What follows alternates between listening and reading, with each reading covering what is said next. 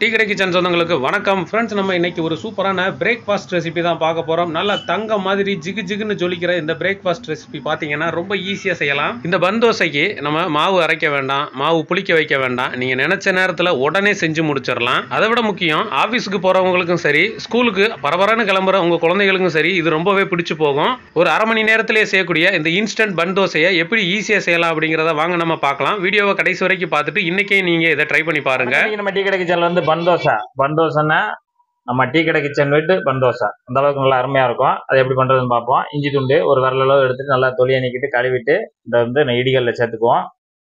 அதே மாதிரி ஒரு மூணு பச்சை மிளகா. இந்த மாதிரி மீடியம் சைஸில் மூணு பச்சை மிளகா எடுத்து அதையும் உள்ள சேர்த்துடலாம். பூண்டு. வெள்ளை பூண்டு சிறுசா இருக்கிறதுனால நான் தொலியை நீக்கிட்டு ஒரு இருபது வரைக்கும் இருக்கும். அதை நான் உள்ள சேர்த்துக்கிறேன். நீங்க பெருசா இருந்துச்சுன்னா ஒரு நாலு பூண்டு பெரிய பூண்டுனா நாலு பூண்டு கூட சேர்த்தா கூட போதும். இதை போட்டு இடிகளில் போட்டு நல்லா ஒன்று ரெண்டை பத்தா பறக்க அடிச்சு எடுத்துக்கோங்க. இப்போ நம்ம இடி உரலில் போட்டு நல்லா இடிச்சாச்சு. பத்தா பறக்க இடித்து தனியாக வச்சுக்குவோம். இப்போ நம்ம பன் தோசைக்கு வந்து மாவு மாவு கரைக்க போகிறோம் மாவுக்கு வந்து இன்றைக்கி மெசர்மெண்ட் கப்பில் ஒரு ஒன்றரை கப் எடுத்திருக்கோம். ஒன்றரை கப்பு பச்சரிசி மாவு எப்பயும் போல நம்ம வீட்டில் பயன்படுத்துகிற பாக்கெட்டில் வர்றதான் வறுக்க வேண்டாம் ஒன்றும் செய்ய வேண்டாம். அப்படியே பாக்கெட்டில் வாங்கிட்டு ஒன்றரை கப்பு மெசர்மெண்ட் கப்பில் பச்சரிசி மாவு எடுத்தாச்சு. அது மாதிரி இதில் தட்டிக்கோங்க குண்டானில் அப்புறம் வந்து ஒன்றரை கப்பு பச்சரிசி மாவு எடுத்துருக்கோம் இல்லையா? ஒரு கப்பு தயிர். கிட்டத்தட்ட இரநூறு எம்எல் தயிர். அதையும் நம்ம பச்சரிசி மாவில் உள்ளே சேர்த்துருங்க. தயிர்னா ரொம்ப புளிக்காத தயிர். எப்பயுமே நார்மலாக இருக்கிற தயிர் ஊற்றினாலே போதும். இப்போ இந்த தயிர்லையும் அந்த பச்சரிசி மாவையும் நல்லா அந்த மாதிரி விஸ்க வச்சுட்டு நல்லா ஒரு இதெல்லாம் கலந்து விட்டுக்கோங்க. அப்புறம் வந்து தேவைத்தக்கான நம்ம தண்ணி சேர்த்துக்கலாம்.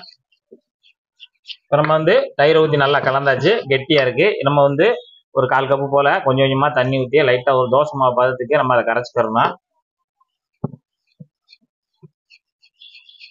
இப்போ நம்ம விஸ்க வச்சு நல்லா கலந்துட்டு அப்புறம் ஒரு கரண்டி போட்டுக்கோங்க. கரண்டி போட்டு நல்லா ஒரு தடவை கலந்து விட்டுட்டு பார்த்தீங்கன்னா நம்ம தோசை மாவு பதம். இந்த அளவுக்கு இருந்தால் போதும். இதுக்கு மேலே ரொம்ப தண்ணி சேர்க்க வேண்டாம். அடுத்து என்னென்ன பொருள் சேர்க்கலாம்னு சொல்லி நம்ம பார்த்துடலாம் இப்போ நம்ம இஞ்சி பூண்டு பச்சை மிளகாய் நல்லா தட்டி வச்சுருக்கோம் இல்லையா? அதை நம்ம வந்து இந்த மாவோட சேர்த்துடலாம். சீரகம் வந்து ஒரு டீஸ்பூனு சீரகம். அதையும் நம்ம இதில் சேர்த்துடலாம். ஒரு மஞ்சள் தூள் ஒரு கால் டீஸ்பூனு. தனி மிளகாய் வத்தல் பொடி ஒரு அரை டீஸ்பூனு. இப்போ இதுக்கு தேவையான உப்பு ஒரு அரை டீஸ்பூன் போல தோல் கேரட் துருவல் நல்லா நைஸாக துருவணும் கேரட் துருவல் ஒரு அரை கப்பு அதையும் நம்ம இதில் உள்ள சேர்த்துடலாம். முட்டைக்கோசு நல்லா பொடிசாக நறுக்கினது ஒரு அரை கப்பு அதையும் நம்ம இதில் சேர்த்துடலாம். தக்காளி ஒரே ஒரு தக்காளி சின்னதாக ஒரு தக்காளி அதை எடுத்து நல்லா புதுசாக வெட்டிட்டு நம்ம அதையும் இதில் சேர்த்துடலாம். மல்லித்தலை ஒரு கொத்து எடுத்து நல்லா புதுசாக நொறுங்க வெட்டி அதையும் உள்ளே சேர்த்துடலாம். கருவேப்பிலையும் அதே மாதிரி ஒரு ரெண்டு கொத்து எடுத்து நல்லா புதுசாக வெட்டிட்டு அதையும் உள்ள சேர்த்துடலாம். இது குடமிளகா பச்சை குடமிளகா அதையும் நம்ம கொஞ்சமாக அதாவது ஒரு காயில் ஒரு கால்வாசி வெட்டினாலே போதும். அந்த அளவுக்கு வெட்டி அதையும் நம்ம புதுசாக வெட்டி இதில் உள்ள சேர்த்துடலாம். இப்போ நம்ம இந்த மாவோட சேர்த்து எல்லாத்தையும் கலந்து விட்டுறலாம். நல்லா கலந்து விட்டுருங்க.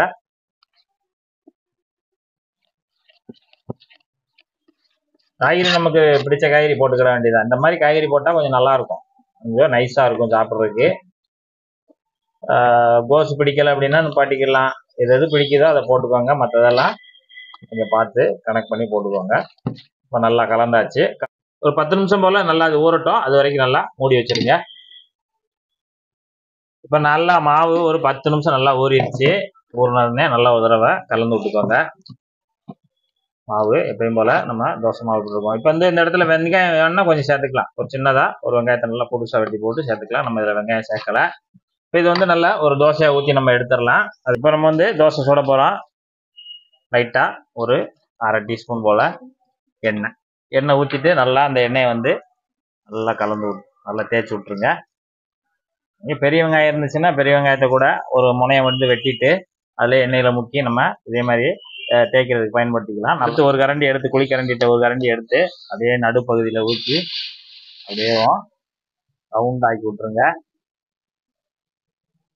இப்போ வந்து அப்படியே ஊற்றியாச்சு ஊற்றி அப்படியே ஒரு பக்கம் வந்துக்கிட்டு இருக்கு. நீங்கள் வந்து அடுப்பு தோசைகள் எப்படி மீடியமாக வச்சு சுடுவீங்களோ அதே மாதிரி வச்சு சுட்டுருங்க. ரொம்பையும் ஹீட்டு பண்ணாமல் மீடியமாக வச்சு விட்ருங்க ஒரு அரை டீஸ்பூன் போல் வெள்ளை எள்ளு அது அப்படி மேலே பரபர பரபரன்னு தூவி விட்டுருங்க. தூவி விட்டுட்டு ஒரு அரை டீஸ்பூன் போல் எண்ணெயும் அப்படியே லேச மேலே ஆக்கில் விளாய் விடுங்க. அண்ணனுக்கு ஒரு ஊத்தப்பம். நம்ம பந்தோசை வந்து ஒரு பக்கம் நல்லா ரெடி ஆயிடுச்சு நல்லா கோர்த்து விட்டுக்கோங்க. நல்லா எல்லாத்தையும் கோர்த்து அப்படியே லூஸ் பண்ணி விட்டுக்கிட்டோம்னா தான் சட்டுன்னு புரட்டி போடுறதுக்கு நல்லா இருக்கும் அவ்வளோதான் நிறம் அப்படியே பார்த்தீங்கன்னா ஜொலிக்கும்.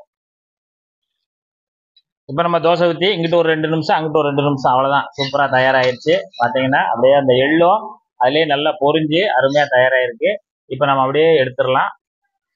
அப்படியே எடுத்து தட்டுக்கு மாற்றிடுங்க அவ்வளோதான் இதே மாதிரி நம்ம எல்லாத்தையுமே ஒன்று ஒன்றா கூட சுட்டு சூப்பராக எடுத்துடலாம். இன்றைக்கி நம்ம டீ கடை கிச்சனில் வந்து அருமையாக ஒரு பந்தோசை சும்மா ஜம்முன்னு தயாராக இருக்குது பார்த்தீங்கனாலே அப்படியே சா ஒன்றுக்கு ரெண்டுக்கு மூணு நாலு அப்படி சாப்பிடணும் போல தோணும். அந்த அளவுக்கு நல்லா அருமையாக இருக்குது இல்லை நல்லா வெந்து சூப்பராக இருக்கு. இது எப்படி இருக்குன்னு சாப்பிட்டு பார்ப்போம்